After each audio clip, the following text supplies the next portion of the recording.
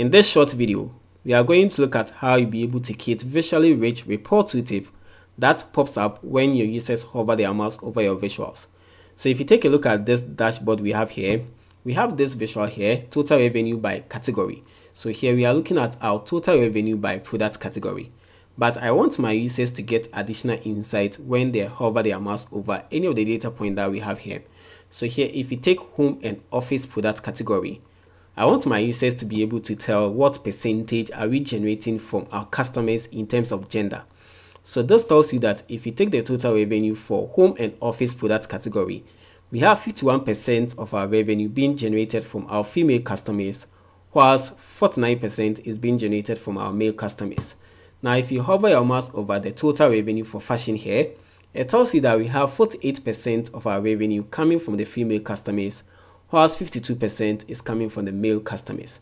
And this is what we are going to learn how to create within Power BI in this short video.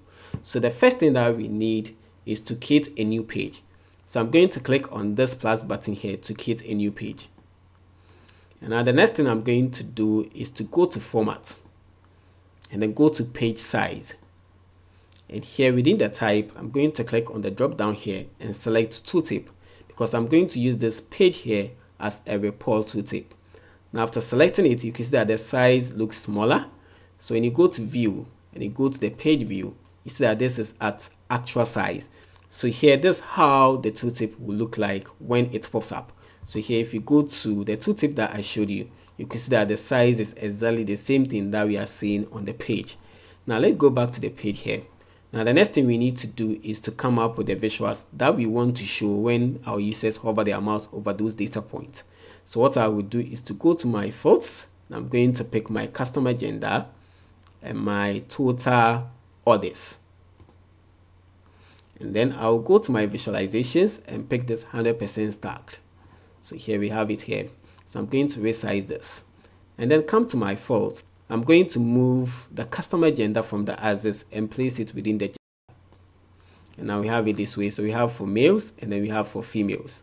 Now what I'm going to do next is to change the data colors. So I'll go to format, data colors. For the females, I'm going to use this color here. Then for males, I'm going to use this. Now the next thing I'm going to do is to turn on my data labels. So I'll go to data labels and then turn it on. So you'll be able to see the percentages. Now after doing that, I'm going to turn off the x-axis here. But before then, let me click on this to expand it and then turn off the title. And then turn it off entirely. So now I have it this way. Now if you take a look at the tooltip here, we have this icon here showing for males and then a female. So what I will do is to go to that tooltip and copy those icons. So I'll select this and select this and then copy this. So if you want to use this, you just go to insert and then go to image. You'll be able to import the image into Power BI. So since I already have them here, I'm going to copy them and then go to the new tooltip page and I'm going to paste them here. So I have it here. So let me bring it down a bit. Now that's what we have. Now the next thing I'm going to do is to come up with a card which is going to show the product category. So what I will do is to go to my visualizations and click on a card and then look for my product category and then drop it into the fields. So I have it here. So what I would do is to resize this.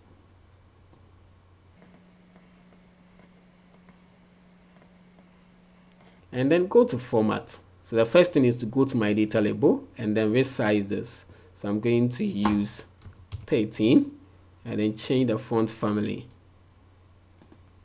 And then also change the color. So I'm going to use this. Now the next thing I'm going to do is to turn off this category. So I'll come here and then turn it off. So now we have just the product. So here I want my users to be able to see the product that they have hovered their mouse over. So here when they come here, you can see that when they hover their mouse over home and office, they'll be able to see the name on the tooltip. If they come to maybe electronics, they'll be able to see the name here. And that's what we are doing here. So I'll just go back and now we have it here. So I'm going to resize it. And then also look at the visual that I have here. So the first thing I'm going to do is to format the title. so here is total order by customer gender i'm going to remove the customer and make it just gender so here i'm going to make it percentage of total orders by gender.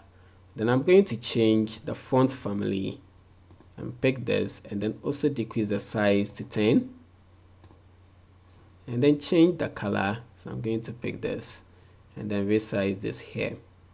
So now we have it here. Let me resize this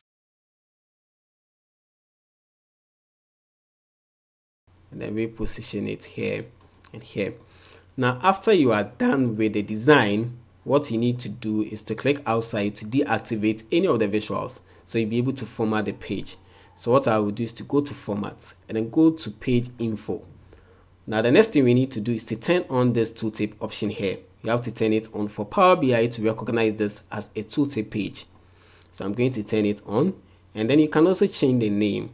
So here we are looking at orders by gender tooltip. Okay, now after you have done this, you can click on this to collapse it. Then you come to the fields so here you can customize the fields that those tooltips should show up when we use it on our visuals. So here when it comes to our report here, we have total orders by product category. Now here when you hover your mouse over any of these data points, you just see this default tooltip. You don't see the report tooltip. So I'm going to the report tooltip page. Now what I'm going to do is to drag the total orders into the bucket here. So what this means is that whenever I use the total orders to build any visual, this tooltip will pop up. So after doing this, let's go back to the dashboard. And now when you hover your mouse over this, you can see that now you'll be able to see the tooltip because we have configured the tooltip to show up whenever we use the total orders on any of the visuals. Now if you take a look at this, this is showing the total orders by product category.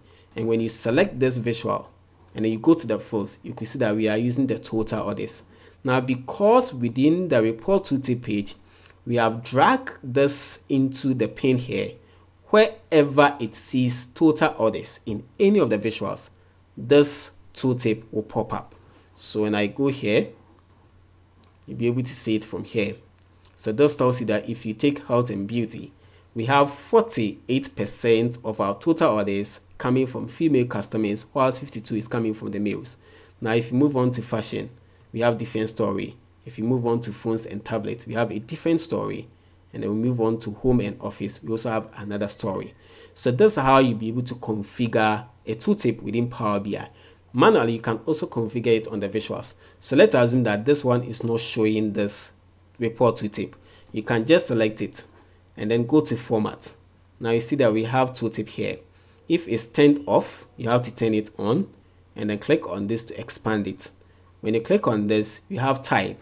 So when you click on the drop down, we have two, we have default and then report page.